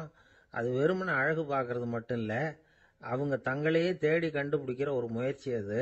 இது ஒரு மனோதத்துவ விளைவு. இது வரைக்கும் வந்து சின்ன பிள்ளையா இருந்துட்டோம். இனிமேல் நாமளும் மற்றவங்க மாதிரி மனிதர்கள் தான் அப்படிங்கிற உணர்வு அவங்களுக்கு வருது. தங்களோட முகம் எப்படி இருக்குது அழகு எப்படி இருக்கு உடம்பு நேரம் எப்படி இருக்கு முடி எப்படி இருக்கு அப்படிங்கறதையெல்லாம் கண்டுபிடிக்கிறாங்க. அதுக்கப்புறம் இன்னொரு ஆணோ பொண்ணோ தன்னை கவனிக்கணும் அப்படின்னு நினைக்கிறாங்க. இதெல்லாம் மனோதத்துவ உண்மைகள். இதெல்லாம் இயற்கை. இதை பார்த்துட்டு பெத்தவங்க வந்து பிள்ளைங்க கெட்டு போட்டாங்க அப்படின்னு நினைக்கக்கூடாது. அவங்கள திட்டிக்கிட்டே இருக்கக்கூடாது. இன்னைக்கு பல குடும்பங்களில் இதுதான் நடந்துகிட்டு இருக்குது. மனுஷ வாழ்க்கையிலேயே இப்படியும் இல்லாத அப்படியும் இல்லாத ஒரு பருவம் வந்து இளம் பருவம். பதிமூணுலேருந்து பத்தொம்போது வயசுக்கு உட்பட்ட ஆண்கள் பெண்கள் இந்த வகையை சேர்ந்தவங்க. டீனேஜ் குரூப் இவங்கள சின்னவங்கன்னு நினச்சிட முடியாது பெரியவங்கன்னு நினச்சிட முடியாது. இவங்க ரொம்ப சென்சிட்டிவ் சமூகம் நினச்சா இவங்களை வந்து நல்லவங்களாவும் ஆக்கலாம் கெட்டவங்களாவும் ஆக்கலாம். கொஞ்சம் அக்கறை எடுத்துக்கிட்டால் பெரிய பெரிய மேதைகளையும் விஞ்ஞானிகளையும் உருவாக்கலாம். ஆனால் நடக்கிறது என்ன தெரியுமா? அநேகமாக இவங்களை யாருமே சரியாக புரிஞ்சுக்கிறது இல்லை இவங்களை சரியாக நடத்துறதும் இல்லை. இது வரைக்கும் நாம் சொல்கிறத கேட்டுக்கிட்டு இருந்தான் இப்போல்லாம் அவன் இஷ்டத்துக்கு நடக்க ஆரம்பிச்சிட்டான் அப்படின்னு வருத்தப்படுற பெற்றோர்கள் அதிகம். இது வருத்தப்படுற விஷயம் இல்லை. சந்தோஷப்பட வேண்டிய விஷயம். உங்கள் புள்ள வந்து சொந்தமாக யோசிக்க ஆரம்பிக்கிறதும் நடந்துக்க ஆரம்பிக்கிறதும் ஒரு தப்பான விஷயமா? அவன் கடைசி வரைக்கும் உங்கள் பேச்சையே கேட்டுக்கிட்டு இருக்கணுங்கிறது என்ன நியாயம்? இன்னைக்கு இளைஞர்களை வந்து பெரியவங்க தப்பாக புரிஞ்சுக்கிட்டு தவறாக நடத்துறதுனால தான் அவங்களுக்கு வெறுப்பு எரிச்சல் மனக்கசப்பு எல்லாம் உண்டாகுது. பெற்றவங்க சரியாக மதிக்கிறது இல்லை அப்படிங்கிற ஒரே காரணத்தினாலேயே வீணா போகிற பிள்ளைங்க இன்னைக்கு அதிகம். சரி பெற்றவங்களுக்கு இன்னைக்கு என்னதான் புத்தி சொல்ல வர்றீங்க அப்படின்னு கேட்குறீங்களா நாம எதையும் சொல்ல வரல. ஆனால் அது சம்பந்தமான சில நிபுணர்கள் சொல்லியிருக்கிறத உங்கள் காதில் போட்டு வைக்கலாம். அது என்னன்னா பிள்ளைங்க கிட்ட அன்பு செலுத்துங்க. குழந்தையா இருந்தப்போ எவ்வளவு பாசமாக இருந்தீங்க? வளர வளர அதை ஏன் குறைச்சிக்கிறீங்க? பெற்றவங்களின் அன்பான வார்த்தைகளுக்கு ஏங்குறவங்க தான் இன்றைய இளைஞர்கள். அவங்க எதை சொன்னாலும் அதை அக்கறையாக காது கொடுத்து கேளுங்க. அலட்சியப்படுத்தாதீங்க. அவங்க விரும்புறது உங்ககிட்ட இருந்து ஒரு மதிப்பு மரியாதை அங்கீகாரம். இவ்வளவுதான். அவங்க அவங்களாவே முடிவுகள் எடுக்கட்டும். அதுக்கு நீங்க உதவியா இருங்க. அது போதும்.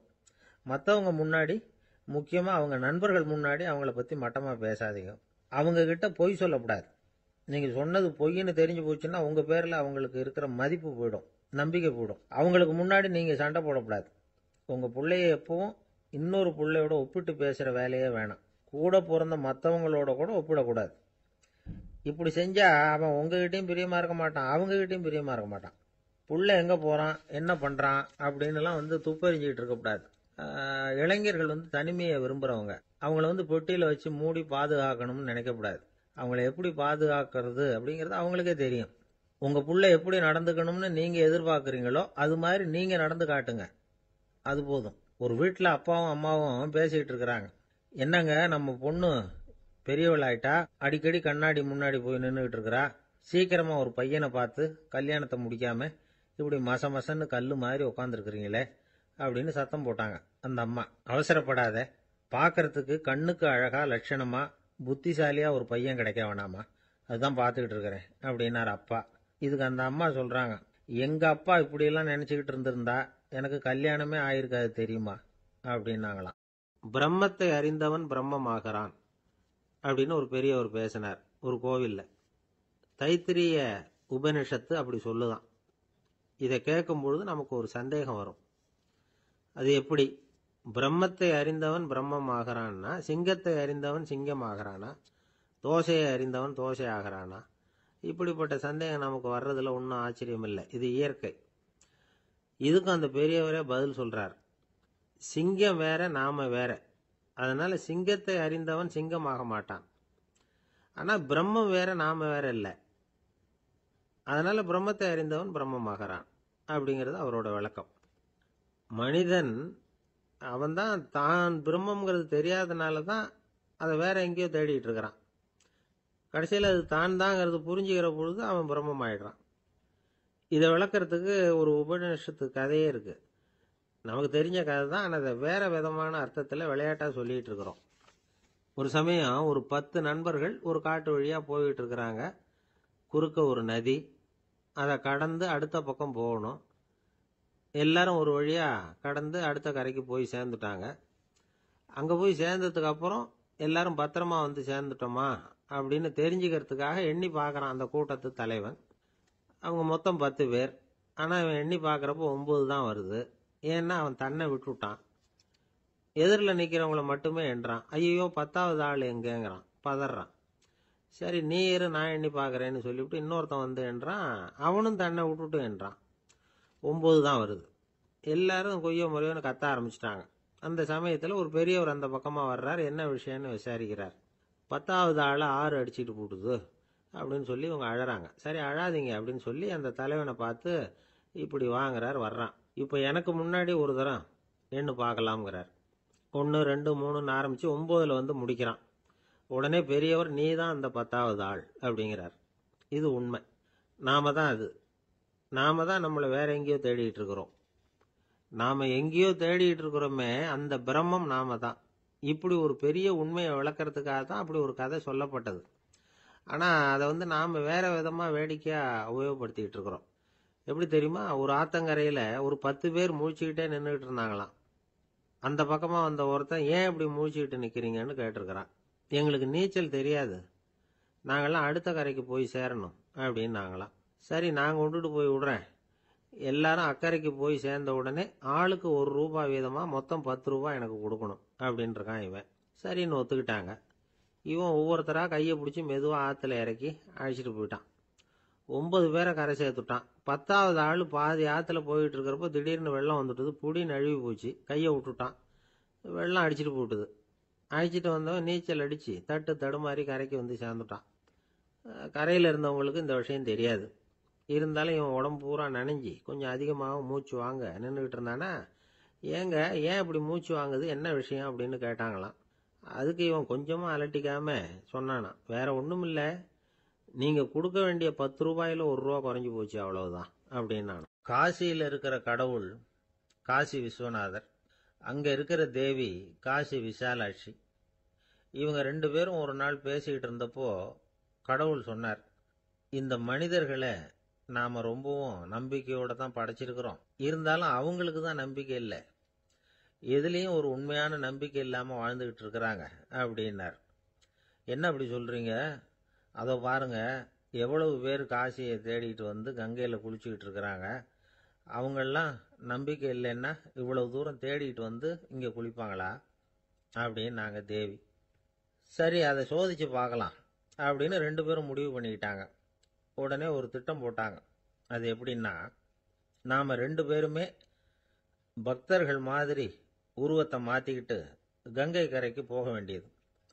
நான் வந்து கங்கையில் இறங்கி குளிக்கிறேன். கொஞ்ச நேரத்தில் சுழலில் மாட்டிக்கிட்டது மாதிரி நடிக்கிறேன். நீ உடனே கரையிலிருந்து சத்தம் போடும் என்னோட வீட்டுக்காரரை யாராவது காப்பாற்றுங்களேன் காப்பாற்றுங்களேன்னு சத்தம் போடும் அதோட இன்னொன்று சொல்லு. யாராவது ஒரு புண்ணிய ஆத்மா அவர்கிட்ட போய் அவருடைய முடியை பிடிச்சி இழுக்கணும். அப்படி ஒரு சாபம் இருக்குது எங்களுக்கு. புண்ணிய ஆத்மா அதாவது எந்த பாவமும் செய்யாத இல்லாத ஒருத்தர் தான் அவரை காப்பாற்ற முடியும்.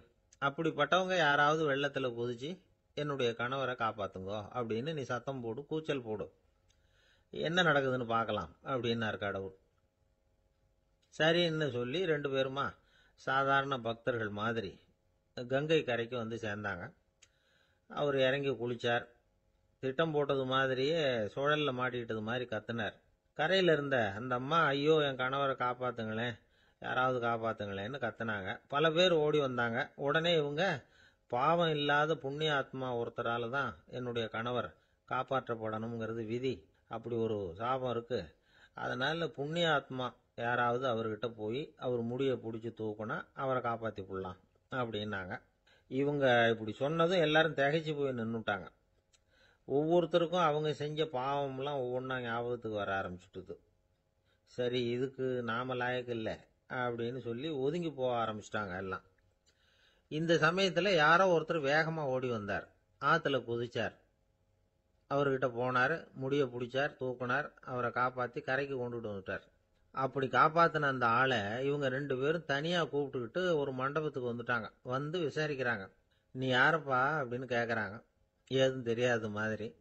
நான் இந்த ஊர் அன்ன சத்திரத்தில் வேலை செய்கிற ஒரு சமையல்காரன் அப்படிங்கிறார்.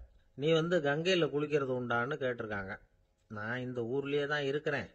இருந்தாலும் தினமும் கங்கையில் குளிக்கிறது இல்லை. எப்பாவது ஒரு நாள் அங்கே குளிப்பேன் அப்படின்னார். கங்கையில் மூழ்கி எழுந்திரிச்சா பாவம்லாம் தொலையும்னு சொல்கிறாங்க அப்படி இருக்கிறப்போ அங்கே இன்னைக்கு கங்கையில் குளிச்சுக்கிட்டு இருக்கிறவங்கெல்லாம் தங்களை வந்து புண்ணிய ஆத்மாவா நினைக்கல. கங்கையில் குளிக்காத நீ உன்னை வந்து புண்ணிய ஆத்மாவா நினச்சி என்னை காப்பாற்ற வந்திருக்கிற? அது எப்படி? அப்படின்னு கேட்டார். அதுக்கு அந்த ஆள் சொல்கிறான் கங்கையில் குதிச்சதுக்கு அப்புறம் தானே உங்களை காப்பாற்ற போகிறோம் அப்படி குதிக்கும் பொழுது என்னுடைய பாவம்லாம் போயிருக்கும்ல. நான் புண்ணிய ஆத்மாவாக ஆயிருப்பேனே. அதனால தான் துணிஞ்சு வந்து உங்களை காப்பாற்றினேன் அப்படின்னா. கடவுளும் தேவியும் அவனுக்கு வந்து காட்சி கொடுத்தாங்களாம். இப்படி ஒரு கதை உண்டு. அதாவது கங்கையில் குளிச்சுக்கிட்டு இருக்கிறவங்களுக்கே தங்களுடைய பாவம் போகுங்கிற நம்பிக்கை பரிபூர்ணமாக இல்லை. குளிக்காத ஒருத்தனுக்கு அந்த நம்பிக்கை இருந்தது. அதனால அவனால் கடவுளை பார்க்க முடிஞ்சது. கடவுளை வந்து நாமளும் பார்க்க முடியுமா? முடியாதா? அப்படிங்கிற குழப்பம்லாம் நமக்கு வேண்டியதில்லை. நம்பிக்கையோடு வாழணுங்கிற உண்மையை மட்டும் இந்த கதையிலேருந்து புரிஞ்சுக்கிட்டா போதும். ஏன்னா இந்த கதையை கேட்டுட்டு ஒரு நண்பன் குதர்க்கமாக ஒரு கேள்வி கேட்டான். ஏன் சார்? கங்கையில் குளிச்சா பாவம் போயிடும்னு சொல்கிறீங்களே நான் எனக்கு வேண்டாத ஒருத்தனை அழைச்சிட்டு போய் கங்கையிலேயே தள்ளி விட்டுட்டு அதுக்கப்புறம் அங்கேயே முழுக்க போட்டுட்டு நான் செஞ்ச பா பாவத்தை வந்து அதுலேயே கழுவி விட்டுட்டு மறுபடியும் உங்ககிட்ட வந்துடுறேன்னு வச்சுக்கோங்க. நீங்கள் என்னை வந்து புண்ணிய ஆத்மான்னு ஏற்றுக்குவீங்களா அப்படிங்கிறான். ஆள் கொஞ்சம் ஆசைந்தான் நம்மளே அங்கே அழைச்சிட்டு போனாலும் போயிடுவான்.